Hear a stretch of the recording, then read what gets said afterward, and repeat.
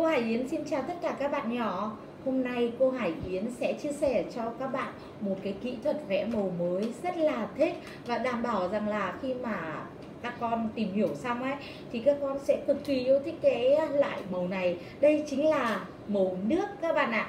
Và màu nước có hai loại nhá. Đây là màu nước dạng bánh này Và đây là màu nước dạng tuyết Và màu nước dạng bánh và màu tuyết dạng nước thì có gì khác nhau nhỉ? Chúng ta cùng tìm hiểu nào với màu nước dạng bánh ấy, thì rất là phù hợp với những bạn nhỏ từ 3 cho đến 7 tuổi. Bởi vì là cái cách sử dụng rất là đơn giản. Cô Hải Yến đang cầm trên tay cái bộ màu nước như thế này. Các bạn có thể tìm mua cái màu nước cô Yến đang cầm ở đây, ở các hiệu sách hoặc là các cửa hàng họa phẩm. Còn nếu như mà các bạn cần cô Yến trợ giúp cái hộp màu này thì hãy liên hệ qua Zalo 0985 899 307 cô Hải Yến sẽ hỗ trợ các bạn nhé. Và bây giờ thì cô Hải Yến sẽ chia sẻ với cái màu nước dạng bánh này này. Thì khi mà tô ấy, thì rất là phù hợp với những bạn nhỏ từ 3 cho đến 6 tuổi. Và cách dùng ấy, thì quá đơn giản luôn. Các bạn chỉ cần cầm cái bút có sẵn trong hộp màu này. Sau đó thì các bạn doa vào cái màu ở đây thôi. Vậy là màu đã được ngấm ra cái bút này rồi. Sau đấy các bạn sẽ vẽ vào trong tờ giấy. Và bây giờ cô Hải Yến thử vẽ cho chúng mình xem nhá. Nào, cô Yến sẽ đưa một nét xuống. Ồ màu nó đã ra rồi đúng không các bạn? Và màu nước dạng tuyết thì ờ, sẽ dùng cũng đơn giản thôi. Các bạn chỉ cần lấy cái tuyếp ở đây. Các bạn xoáy ra như thế này. Và ở đây nó có cái đầu nhọn này, các bạn nhỏ ơi. Các bạn sẽ xoáy ngược cái đầu nhọn này vào cái tuyếp này và chúng ta sẽ mở được cái tuyếp này ra. Thật là đơn giản. Nó đã ra rồi đây này. Và bây giờ thì cô Hải Yến sẽ lấy một ít màu. Đây là cái palette nhá. Palette của cô thì thường xuyên dùng vào buổi sáng nay. Vừa có một bạn bạn ấy dùng xong. Bây giờ cô Yến sẽ lấy ra. Đó, cô Yến sẽ lấy ra một chút thôi. Sau khi lấy xong ấy, thì cô Hải Yến cần phải lắp vào luôn. Các bạn nhỏ cũng như vậy nhé nào, vậy thì sau khi mà lấy ra, cô Yến sẽ cho màu vào cái palette và lấy một ít nước cô Yến đưa vào. Và cô Hải Yến sẽ bắt đầu là vẽ lên tờ giấy. À các bạn thấy có điều gì khác nhau nhỉ? Nước, màu nước ở đây đậm hơn màu ở bên này đúng không? Nhưng đậm hay nhạt là do cái lượng nước mình đưa vào. Bây giờ cô Hải Yến sẽ vẽ tiếp này nó nhạt hơn rồi, đúng không nhở? Và nó nhạt tương đương với cái màu bên này. Vậy thì đặc điểm của màu nước muốn đậm hay nhạt? Thứ nhất là do cái lượng nước mình pha vào với màu là nhiều hay là ít? Thứ hai là đặc điểm của màu nước muốn màu đậm hơn thì các bạn chỉ cần tô thêm một lớp màu nữa thì nó sẽ đậm hơn. Và giờ cô Hải Yến thử tô đè lên nhé nào cô Yến sẽ tô đè lên cái lớp màu nước ở đây. Cô lại tô đè thêm một lớp nữa. Và lại thêm một lớp nữa. Các bạn ơi, màu nó có đậm hơn không? Đậm hơn rồi, đúng không? Nhưng có một sự khác biệt giữa màu nước dạng tuyết và màu nước dạng bánh. Đó là màu nước dạng bánh ấy thì khi mà các bạn tô ấy nó sẽ không có độ trong giống màu nước dạng tuyết. Và các bạn nhìn này, giờ cô Hải Yến sẽ tô lên. Thì cái màu nước dạng tuyết này này, nó sẽ trong hơn, nó sẽ trồng đè lên nhau được tốt hơn, nó sẽ lan sang nhau được tốt hơn, nhưng nó lại tô khó hơn một tí. Bởi vì lại mất công phải mở lắp ra và phải bóp vào để hòa. Vậy thì nếu như mà những bạn nhỏ mà từ à, 3 đến 6 tuổi thì các con nên dùng cái màu nước dạng bánh này cho cô. Còn những bạn nhỏ lớn tuổi hơn thì các bạn hãy lựa chọn cái màu nước dạng tuyết để có thể là có những màu trong và đẹp hơn nhé các bạn ơi. Nhưng mà khi dùng màu nước ấy, thì các bạn cần phải chú ý những loại họa cụ mà đi tương đồng với nó cho cô Hải Yến. Thứ nhất là khi mà chúng ta vẽ tranh màu nước, thì các bạn chú ý cho cô là chúng ta phải bồi giấy lên trên một cái bảng thật là cẩn thận, để khi mà chúng ta vẽ màu, nó sẽ không bị cong cái mép giấy lên. Việc thứ hai là cái giấy để vẽ màu nước ấy thì cũng là một cái loại giấy riêng đặc biệt hơn, nó có cái độ thấm nước tốt hơn. Đó, việc thứ ba là khi mà chúng ta vẽ màu nước ấy, thì các bạn cần phải chuẩn bị những cái bút lông. Bút lông thường khi mà người ta sử dụng vẽ màu nước, đó là những bút lông mà cái chất lượng lông nó sẽ hút được nhiều nước hơn, để khi mà chúng ta vẽ sẽ hút được nhiều màu hơn các bạn nhé và có rất là nhiều size khác nhau. Size to thì để tô những mảng lớn và size nhỏ thì để chúng ta vẽ những cái phần nhỏ hơn hoặc đi và chi tiết hơn. Và còn một cái nữa chính là cái cuộn băng dính giấy đây này, để chúng ta có thể là bồi được cái bảng như này, dán được cái mép giấy vào phẳng phiu như này các bạn ạ. Thêm một cái nữa chính là cái ballet. Ballet của lớp vẽ thì có rất là nhiều loại ballet, Có loại ballet nhiều như này và ballet phẳng với màu nước. Thì cô Yến khuyên các bạn hãy sử dụng cái loại palette có nhiều màu như thế này nhá, Có nhiều ngăn như thế này. Và thêm một cái nữa là các bạn không thể thiếu một chút cái giấy để lau màu. Cái giấy lau màu các bạn có thể là sử dụng cái khăn lau bình thường hoặc là cái giấy mà lau chùi đa năng của gia đình chúng ta. Bây giờ cô Hải Yến sẽ chia sẻ về phương pháp vẽ màu nước cho các bạn nhé chúng ta cùng chú ý xem là cô Hải Yến hướng dẫn như thế nào nào chúng ta hãy đến với nhau bằng một cái hình đơn giản nhất. Và hình đơn giản nhất cô Yến đã từng chia sẻ đó chính là hình tròn. Vậy thì cô Hải Yến sẽ hướng dẫn từ hình tròn nhé. Đầu tiên là chúng ta vẽ một hình tròn. À, tuy nhiên là các bạn lớn lớn hơn ấy các con có thể là thích hình bông hoa thích hình ngôi sao thích hình chữ nhật thích hình vuông các con có thể là vẽ vào được hết được chưa ạ? Và sau khi mà chúng ta có được hình xong, cô Hải Yến coi đây là một cái phát thảo đi.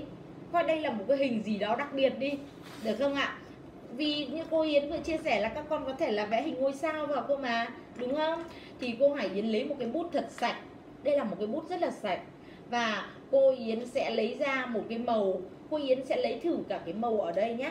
Là cái màu bánh này. Và cô Hải Yến đang lấy trước một chút. Đó là uh, một cái màu vàng đi. Cô Hải Yến sẽ lấy màu vàng. Và bây giờ cô đã lấy được màu vàng ra rồi. Sau khi lấy được màu vàng xong Thì với một cái hình tròn như thế này Cô Yến muốn là chúng ta sẽ tô dạng cơ bản nhất Dành cho những bạn từ 3 đến 6 tuổi có thể làm được.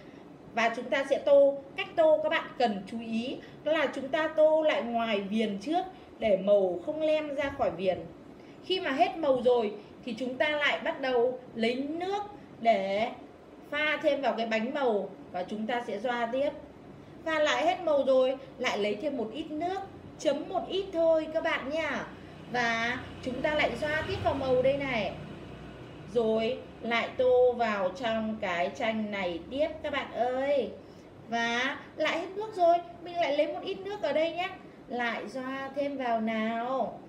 Ô cô Hải Yến đã tô kín rồi, đã tô kín rồi được chưa ạ còn bây giờ cô Hải Yến sẽ hướng dẫn kỹ thuật vẽ màu nước nâng cao hơn, dành cho những bạn nhỏ mà từ 7 tuổi trở lên nhé.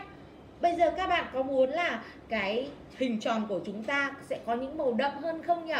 Nếu muốn màu đậm hơn thì cô Hải Yến sẽ lấy sang cái màu vàng ở bên cạnh đây này và lấy một ít nước xoa vào màu vàng ở bên cạnh. Sau đó thì cô sẽ doa vào cái phần đậm ở phía dưới này. À, và chúng ta cần phải chú ý với nhau rằng là ánh sáng hắt từ đây vào thì phía dưới này sẽ tối hơn. Cho nên cô Hải Yến đã dùng một màu vàng doa vào phần đậm ở dưới đấy. Cô lại muốn là phần phía dưới này tối hơn nữa thì cô lại trồng tiếp một lớp màu nước nữa. Đó đã tối hơn. Và bây giờ thì cô lại muốn rằng là nó sẽ có tối hơn một chút nữa. Vì bây giờ là có màu vàng này, màu vàng đậm hơn này, lại có màu vàng đậm hơn nữa. Cô lại lấy một cái màu vàng đậm hơn. Và nhớ rằng là bút phải có nước nhé. Cô sẽ doa vào để lấy được cái màu đậm hơn. Đó. Vậy thì chúng ta đang thấy là màu bắt đầu đậm dần hơn, đúng không ạ? Và màu của màu nước bản chất đậm dần hơn là do là do chúng ta đang trồng nhiều lớp màu lên nhau. Và nếu như mà bút của chúng ta nhiều nước quá, các bạn có thể chuẩn bị sẵn một cái giấy ở bên cạnh như cô Hoài Yến, thấm bớt cái nước đi. Hoặc khi mà chúng ta rửa bút xong, chúng ta muốn là cái bút của chúng ta cực kỳ sạch thì chúng ta cũng chấm vào cái khăn này để cho nó không bị bẩn màu ra nhá và bây giờ, cô Hải Yến thấy nó long lang rồi, nhưng lại vẫn để lại một chút cái vết cứng, một chút vết cứng.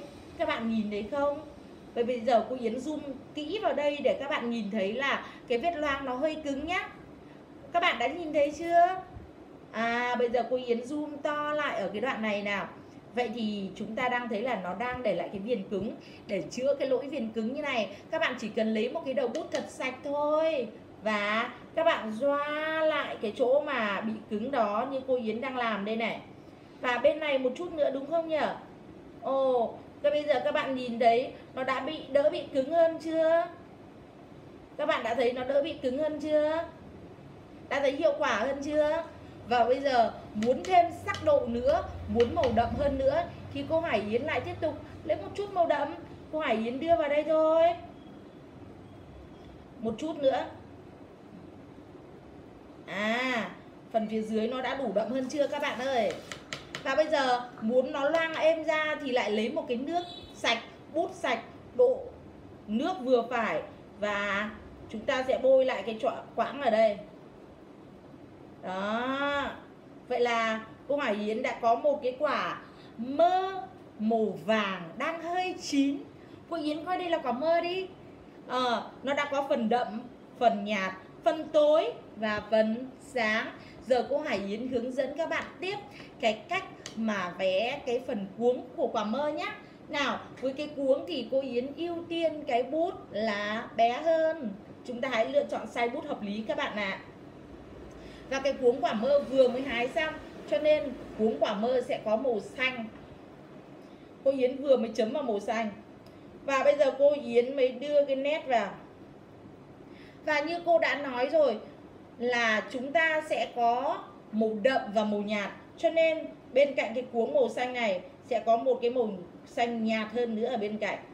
Cô Yến đang lấy một cái màu xanh nhạt hơn để đứng bên cạnh cái màu xanh đậm đó. Đó. Và bây giờ thì cô Yến lại cần một cái màu xanh đậm hơn nữa cô Yến bắt đầu đặt sang cái chỗ màu xanh đậm. Và khi mỗi lần mà cô Yến lấy màu vào cái màu gì đó thì cô quay phim ơi, cô quay zoom lại cái chỗ đoạn mà cô Yến đang đang đang lấy màu nhá. Đó. Vậy thì cô Yến đang tô vào cái chỗ màu xanh đậm. Ô, vậy là cái cuống của cô vừa có xanh đậm này, vừa có xanh nhạt này. Các bạn đã nhìn thấy rõ hơn chưa? Đó rất là đơn giản, đúng không? Và bây giờ, cô Hải Yến muốn là cái cành mơ này, quả mơ này sẽ có lá ở trên cuống. Vậy thì cô Yến sẽ thử vẽ lá trên cuống nhé đầu tiên là các bạn ơi, chúng ta cần phải phát thảo hình cái lá, đúng không? Cái lá của quả mơ đơn giản lắm, nó là cái loại lá dài như thế này này và có cái phần sống ở giữa. Vậy thì bây giờ cô Hải Yến thử tô nhé cô Hải Yến sẽ tô với phương pháp dành cho các bạn 3 đến 6 tuổi đều có thể tô được nào, vậy thì 3 đến 6 tuổi các bạn sẽ chỉ cần là tô được kín thôi đã nhá cô Yến sẽ lấy một cái màu xanh trước. Nhớ cho cô là bút phải cực kỳ sạch các bạn nhá. Bút sạch bằng cách là chúng ta sẽ rửa sạch cái bút này. Sau đó thì thấm vào cái khăn sạch này để cho bớt nước đi này. Và chúng ta sẽ lấy một cái màu xanh. Tô vào cái lá. Các bạn cố gắng tô chỉ trong cái lá thôi nhé thì như vậy nó sẽ được đẹp hơn. À, mời cô quay phim zoom kỹ vào đây vào cái lá. Các bạn ơi cái lá của cô khi mà tô một lớp ấy thì màu nó sẽ nhạt nhạt. Và cái cách mà tô màu đậm hơn là như thế nào các bạn còn nhớ không? Chính là chúng ta chỉ cần lấy thêm tiếp màu xanh và doa vào cái phần tô vào cái phần lá mình muốn đậm hơn các bạn nhìn thấy lá của cô Yến đậm hơn chưa? Đã đậm hơn rồi. Bây giờ cô Hải Yến lấy một cái bút nhỏ hơn như thế này này. Đã được sạch rồi. Cô Yến doa vào cái màu xanh đậm hơn. Và đây là kỹ thuật tô khó hơn dành cho những bạn từ 8 tuổi trở lên nhé. Cô Yến sẽ đưa vào cái phần màu đậm, phần gân của lá. Các bạn nhìn thấy chưa nhỉ? Hãy zoom vào cái lá giúp cô Yến nào cô Yến dùng màu xanh đậm hơn, di vào cái phần gân của lá. Và cô Yến lại dùng một cái màu xanh đậm hơn để đưa vào cái phần viền của lá. Vậy là lá của cô đã có cái phần viền, có đậm, có nhạt. Và bây giờ cô Yến lại tiếp tục làm cái xương này. Đó. Xương của cái cái lá này, các bạn chỉ cần kẻ những cái nét xiên ra thôi, vậy là được rồi. Nhưng trên cái lá lại có ánh nắng không hả các bạn? Cái lá cũng có ánh nắng, cho nên cô Yến sẽ lấy một chút ánh nắng màu vàng được không? Và cô Yến đã có màu vàng rồi nhé cô Yến sẽ tô tiếp trên cái lá này. À vậy là lá của cô đã có một chút màu vàng. Vậy thì cô bây giờ muốn cái lá của cô lại thêm một chút màu đậm nữa. Các bạn nhìn này. Và lá đã có màu đậm hơn. Màu đậm hơn. Ô cái lá cây của cô Yến đã rất rất rất rất là đẹp rồi, đúng không các bạn? Và các bạn ơi, bây giờ cô muốn cái quả mơ của cô, nó sẽ có bóng ở phía dưới và cô lại tô theo hai dạng nhé cách thứ nhất là tô dành cho các bạn từ 3 đến 6 tuổi. Cái bóng sẽ đậm hơn quả mơ, đúng không các bạn? Vậy thì bây giờ ở đây đang có những màu đậm là màu nâu màu nâu đậm, màu đen màu xanh lam và cũng có thể là màu đỏ. Bóng không nhất thiết phải là màu đen các bạn ạ. Nếu như mà chúng ta để quả mơ trên một cái bàn đỏ thì cái bóng của chúng ta sẽ là màu đỏ đậm. Nếu như quả mơ đặt trên một cái bàn màu xanh thì cái bóng của chúng ta sẽ là màu xanh đậm. Vậy thì cô Hải Yến sẽ đặt quả mơ trên một cái bàn màu đỏ các bạn nhé. Được không nhở? Nào, vậy thì cô Yến sẽ lấy một cái bàn màu đỏ. Cô Yến đang dùng màu đỏ. Cô Yến tạo ra một cái mặt bàn. Tô sát vào quả mơ mà chúng ta vừa mới vẽ. Sau đó thì cô vẽ ra cái mặt bàn. Cô tục kín nó đã. Mời cô quay phim, quay sát vào đây cứ khi nào mà chị ờ, quay ấy, chị đến cái đoạn nét bút ấy, thì em cứ quay sát vào cái đoạn nét bút nhé. Những cái đoạn chị nói là chị cắt đi được này. Đó. Các bạn ơi, thế là cô Yến đã tô xong cái phần mặt bàn rồi, các bạn nhìn thấy không? Và bây giờ cô Yến sẽ xác định là trên mặt bàn sẽ có cái bóng vừa màu đỏ, nhưng lại phải có cái bóng là màu đỏ đậm hơn. Thế thì cô Yến sẽ có hai giải pháp. Giải pháp thứ nhất là tô thêm màu đỏ vào phần vào phần dưới chân của quả mơ. Giải pháp này là giải pháp thứ nhất. Để cho cái chỗ này nó cảm giác nó đậm hơn. Thêm một lần nữa nhé đó. Và bây giờ muốn cái này đậm hơn nữa thì các bạn có thể là sử dụng thêm một chút màu nâu pha lẫn với một chút màu nâu. Một chút màu đen. Cô Yến đang được hỗn hợp của màu nâu và màu đen. Cô sẽ tô ở phía dưới chân của quả mơ này.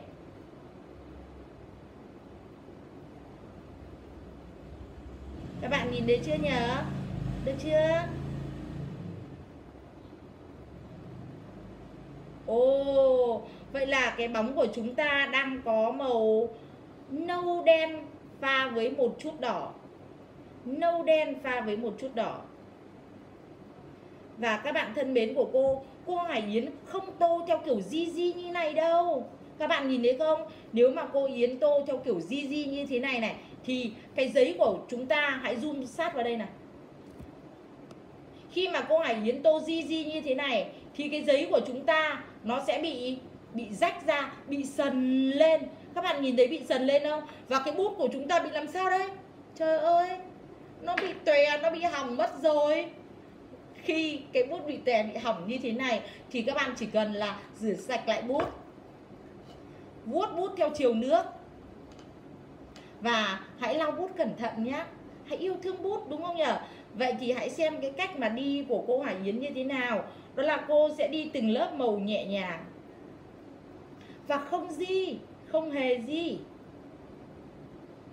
Và nếu như mà bị cứng thì chúng ta sẽ có giải pháp như cô Yến đã hướng dẫn, đó là dùng một cái bút sạch với một lượng nước ít thôi. Chúng ta sẽ doa cái phần bị cứng ra, nhẹ nhàng nhẹ nhàng, chứ không hề rùi rùi rùi rùi rùi rùi để cho nó bị, làm sao, nó bị hỏng hết cả giấy, đúng không ạ?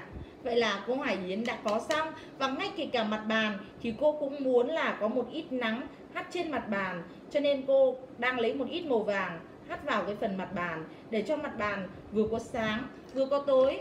Và cô Hải Yến lại muốn rằng là trên mặt bàn cũng có một ít màu xanh Để cho kéo một chút cái màu xanh từ trên cái lá xuống, Cho nên cô Hải Yến sẽ đẩy một chút cái màu xanh rất là đẹp vào cái chỗ phía dưới này.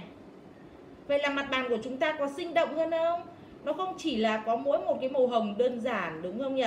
Các bạn ơi, vậy là chúng ta đã có xong một quả mơ rất là đẹp rồi này. Và chúng ta có thể là làm sáng hơn một chút nữa. Ở cái phần khối ở đây Để giúp cho cái quả mơ của chúng ta Nó có cảm giác là à có rãnh của quả mơ nhé Và một chút túi hơn nữa. Ở cái phần cuống ở đây nhé các bạn đã nhìn thấy quả mơ của chúng ta rất rất đẹp chưa nhỉ? Vậy thì sau khi mà các bạn xem xong video hướng dẫn vẽ màu nước cơ bản phần 1 thì các bạn hãy về nhà và thực hành vẽ quả mơ này có thể gửi qua Zalo cho cô Hải Yến, số 0985 899 307 cô Hải Yến sẽ hỗ trợ cho các bạn nhé. Xin chào các bạn.